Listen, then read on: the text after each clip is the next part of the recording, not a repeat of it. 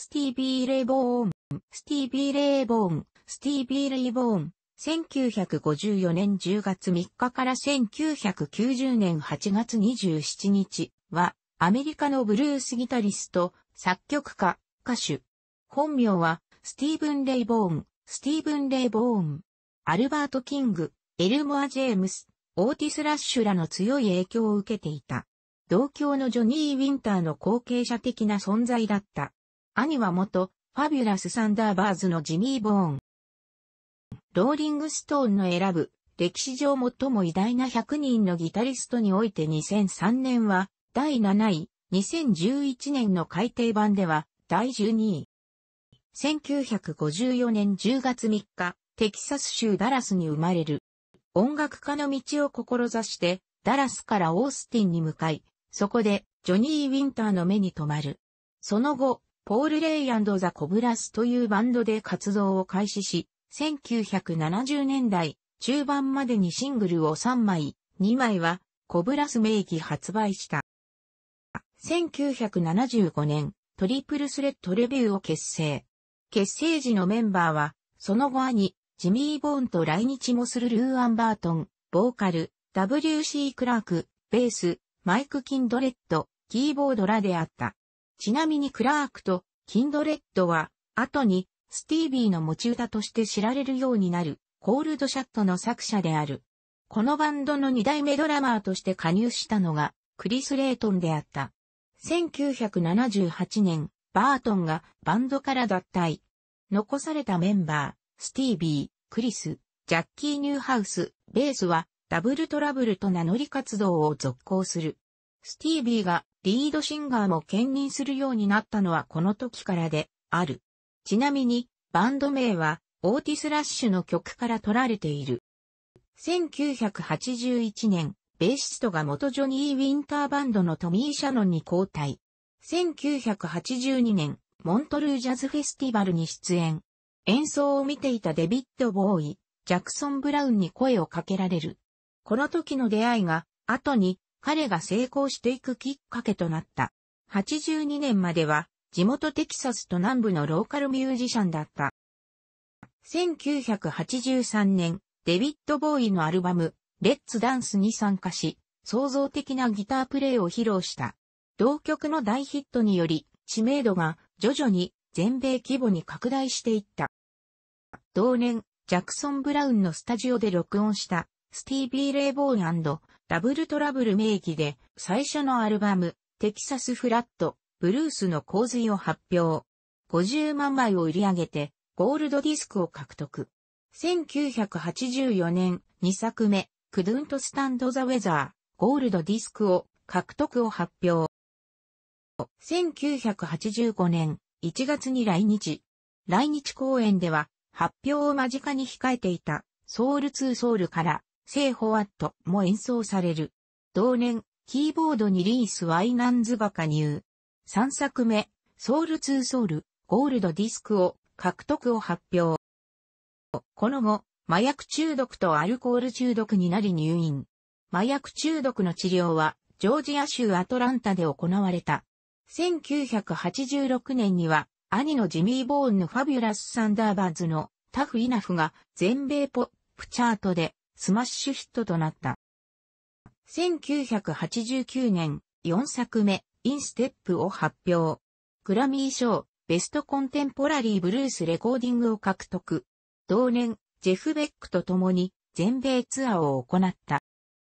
1990年8月26日、ウィスコンシン州イースト、トロイのアルパインバレーミュージックシアターで行われたブルースフェスティバルに出演。エリック・クラプトン、バディガイ、ロバート・クレイ、ジミー・ボーンらと共演。終了後、シカゴ行きのヘリコプターに乗り込むが、8月27日、未明にアルパインバレーリゾートにあるキー場のゲレンデに、ノームで視界を失ったヘリコプターが墜落、エリック・クラプトンのボディガードを含む乗員全員と共に死去。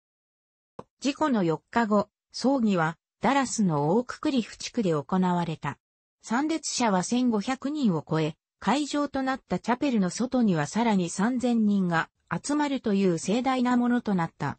参列者の中には、ジャクソン・ブラウン、ドクター・ジョン、バディガイ、ボニー・レッド、スティービー・ワンダーラの姿があった。1990年、実刑のジミー・ボーンと共に録音していた音源が、ファミリースタイルというタイトルで発表される。名義は、ボーンブラザーズである。また1991年には、未発表音源が、ザ・スカイ・イズ・クライングというタイトルで発表される。ブルース志向のジミー・ボーンは、スティービー・レイの曲が、ヘビメタルのミュージシャンに変わられることに、強い不快感を示していた。1991年、テキサス州知事は、彼の誕生日である10月3日を、スティービー・レイボーンデーに制定。毎年この日は、オートバイのイベントとチャリティコンサートが開催され、収益金は、スティービー・レイボーン奨学金の資金となっている。スティービー・レイボーン奨学金は、音楽を専門的に学ぶ若者を支援する奨学金で、スティービーの故郷オーククリフにあるグレーナー、ミドルスクールの8年生に支給されている。1992年、フェンダー社は、スティービーの愛機であったナンバーワンをモデルとしたシグネーチャーモデルのストラトキャスターを発売。フェンダー社の定番商品となり、現在でも生産され続けている。1994年、オースティン氏は、スティービーのコンサートが数多く行われた、市内のリゾート地、タウンレイクに、スティービーの銅像を設置した。1997年、カーネギーホール出演時、1984年10月4日のライブ音源が、ライブ AT カーネギーホールとして発表される。ドクター・ジョンや兄、ジミー・ボーンがゲスト参加。2015年、スティービー・レイボーンダブルトラブルとしてロックの殿堂入りを果たし、4月18日の授賞式では、ジョン・メイヤーがプレゼンターを務めた。スティービーは、現在、故郷ダラスのローレルランドメモリアルパークに眠っている。スティービーは主に、フェンダーストラトキャスターを愛用した。最も有名なストラトキャスター、ナンバーワンは、彼がそれまで使用していた黒いストラトキャスターの修理を頼みに、オースティンのレイズミュージックエクスチェンジを訪れたところ、壁に展示されていた中古のストラトキャスターに一目惚れして交換して入手したものである。もともとはクリストファー・クロスがこの店に下取りに出していた個体であるという。彼が入手した当時の仕様は1963年製のアルダーボディ、ネックは1962年12月製の D サイズでローズウッド指板のラウンドバリ、ピックアップは1959年製、ピックガードは白であった。その後、ピックガードはホログラムステッカーを切り出した SRV のロゴが貼られた黒いピックガードに交換され、最終的には SRV のロゴを溝状に刻んだ後にシグネーチャーモデルとして発売されるものと同じ、書体のロゴがおられた、ピックガードに交換された。フレットは、彼がベースフレットと呼んでいた、ジムダンロップ社の、いわゆるジャンボフットである6100番に打ち替えられた。トレモロユニットも左利き用のものへと換装された。ペグは、オリジナルのクルーソン社製から金メッキが施されたシェアラー、シャーラー製のロトマチペグでパール柄の樹脂製のペグボタンのタイプに交換されていた。当初のネックはフレット1替えの際に指板を作成、弦の張力や湿度変化などで歪んだ指板面を削って成形することできる限界に達したため、1989年に同じく SRV 所有であったストラトキャスタ、通称スコッチのものに交換されている。さらに1990年にコンサート会場で機材が落下する事故が発生し、スコッチから移植されたネックも折損した。そこで、当時の SRV のギターテクニシャンであったレネ・マルティネスが、フェンダー社のカスタムショップに1963年仕様のストラトキャスターのネックの新作を依頼し、SRV がこのギターを入手して、以降では3本目のネックとしてナンバーワンのボディに取り付けられた。スティービーの没後、このギターが彼の棺に収められたという情報が一時流れたが、全くのデマである。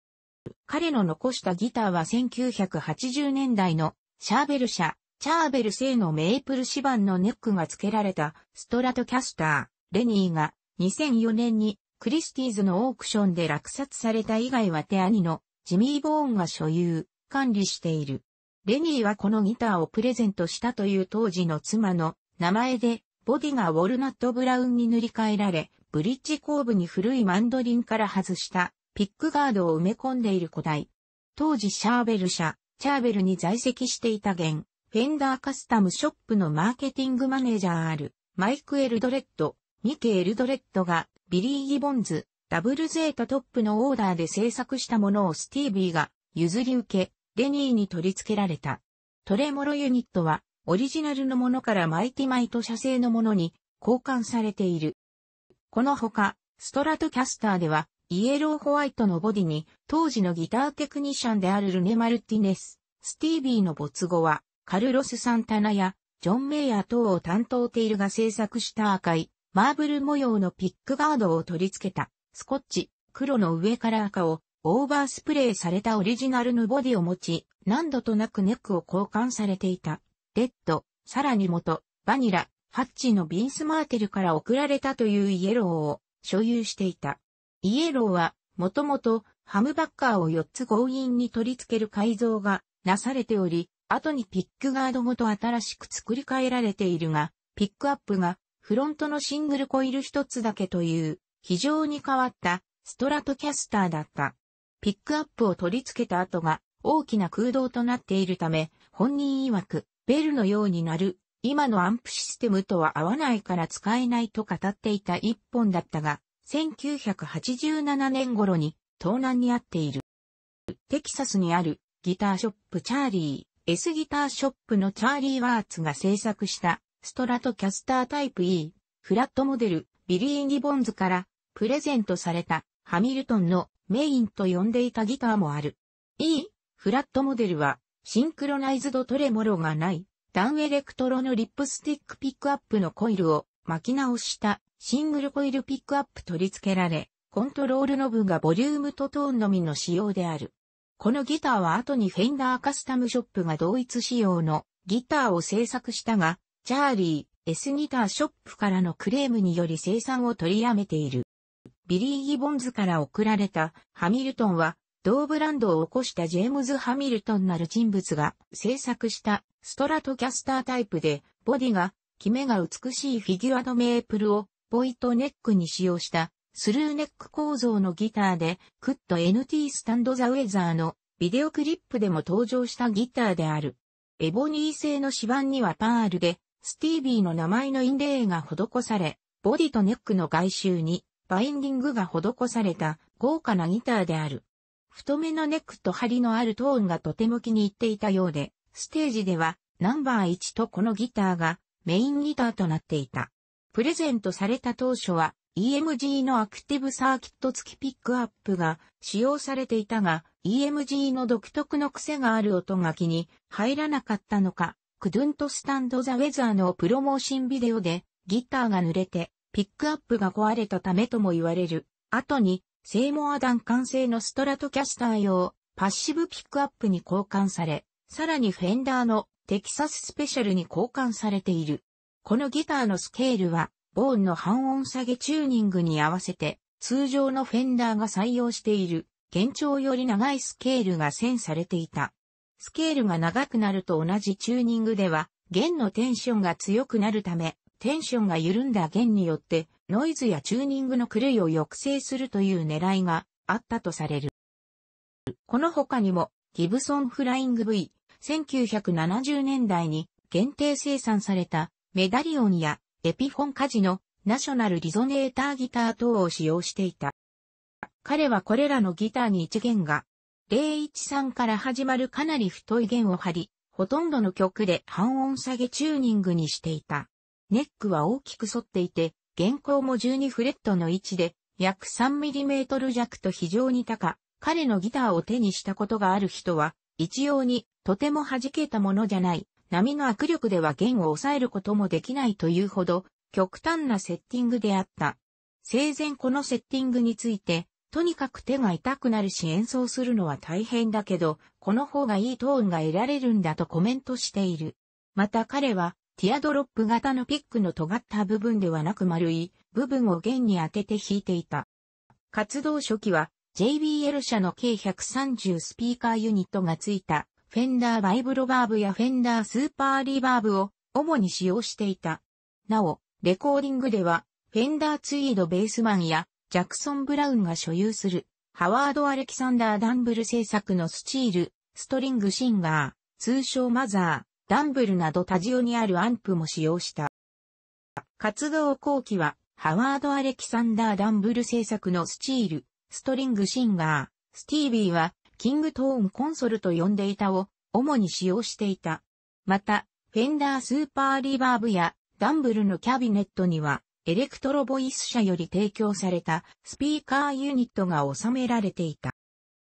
アイバニーズチューブスクリーマー TS-808、TS-9、TS-10、ボックス社のワウ、ダラスアービター社のファズフェイス、イン、ステップ録音時に使われたものは改造されたもので、現在はジョン・メイヤーが所有しているタイコブラーエ社のオクテイビアなどが定番で、コーラスやフランジャーもたまに使用された。またハモンドオルガンに使われるレスリースピーカーを使用することもあった。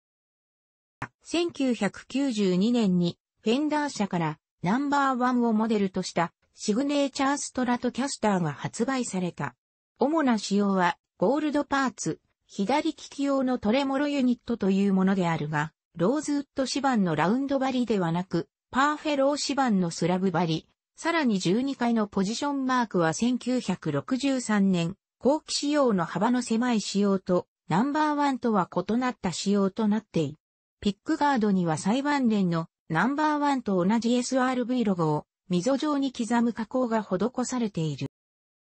2004年にフェンダーカスタムショップがトリビュートシリーズ第1弾としてスティービー・レボンナンバーワンストラトキャスターを100本制作した。マイク・エルドレッド、ミケ・エルドレッド、マスタービルダーであるジョン・クルーズ、ジョン・クルース等が、採寸や傷、錆等の特徴を詳細に調べ、スティービーが所有していた実物はほぼ完全な形で、復元した。制作は、ジョン・クルーズ、ジョン・クルースによるものである。2007年に、クリスティーズで、ギターセンター社が62万3500ドルで落札したレニーをギターセンター社企画でフェンダーカスタムショップがスティービー・レボン、レニー・ストラトヤスターを制作した。ヘッドに入ったクラッキングやブリッジ工法に施されたインレイ、100年ほど前のマンドリンのピックガードを埋め込んだもの、オリジナルとは違うブリッジ、さらにケースに至るまで再現されている。スティービーが影響を受けたギタリストとして真っ先に挙げていたのが兄、ジミー・ボーンである。他はアルバート・キング、ヒューバート・サムリン、ハウリン・ウルフのバンドで活躍し、ギタリスト、ラリー・デイビス、ライトニン、ホップキンス、アルバート・コリンズらのブルースギタリストたちも挙げている。またブルースロックのジミ・ヘンドリックス、ロニー・マックからの影響も顕著である。ジャズ系のギタリストでは、ケニー・バレル、グラント・グリーンなんて大好きだから。ジャンゴ・ラインハルトもだね。それに、もちろん、ウェス・モンゴメリーも、と何人かの名前を挙げていたザ・ギタリスト、上達人に聞くサウンドの秘密論明編、中山義雄約1995年音楽の友社。また、別のインタビューでは、同じように数人のジャズギタリストの名を挙げ、中でもグラント・グリーンの演奏は特に良いフレーズの宝庫だと影響の大きさを語っている。唯一の来日公演が1985年1月に行われた。詳細は以下の通り、スティービ・レイ・ボーンダブルトラブルジャパンツアー1985。メンバー、スティービー・レイ・ボーン、ギター、ボキャクリス・レイトンドラムストミー・シャノン・ベース。翔平、音楽者、楽しくご覧になりましたら、購読と良いです。クリックしてください。